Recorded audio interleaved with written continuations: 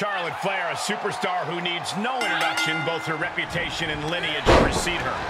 Absolutely, Michael. And with that in mind, we have to acknowledge just how intimidating of a competitor Charlotte must be. Because when you are standing across the ring from her, you already know you are going to be fighting quite the uphill battle. Fair point, Byron. There's a much-deserved intimidation factor that comes with the territory of being Charlotte Flair, and we can't discount that.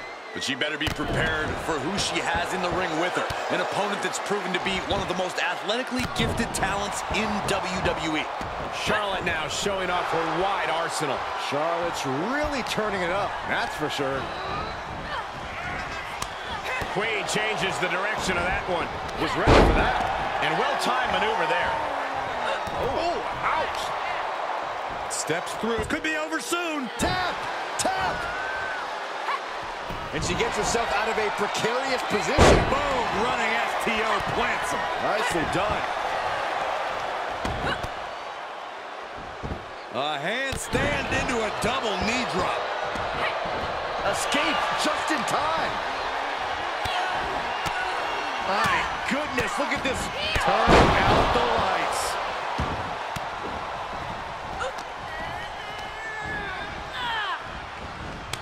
Impressive reversal there. Great awareness as she proves to be too quick.